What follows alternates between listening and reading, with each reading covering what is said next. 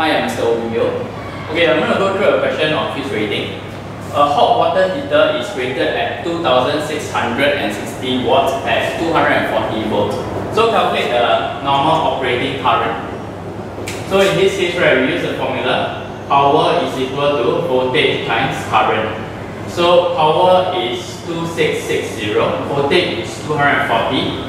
So I will be equal to 2660 divided by 240, this will give us 11.1 ampere. Okay, so this means that under normal normal condition, right, the water heater is going to draw 11.1 ampere. Okay, next, uh, suggest a suitable rating for the fuse.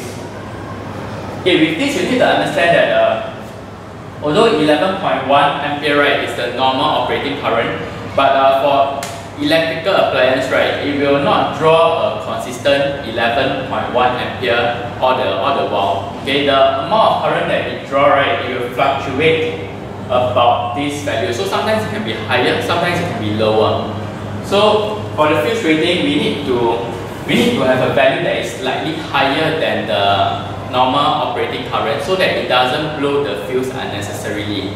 So for Cambridge stand, right, what they want us to do for fuse rating is to go uh, one whole number higher. So since this is 11.1 ampere, right, we just go to the next whole number and that will be 12 ampere.